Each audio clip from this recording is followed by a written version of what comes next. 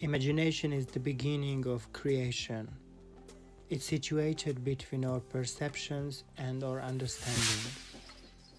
Use your creativity and paint shapes and geometric forms, creating a minimalist watercolor.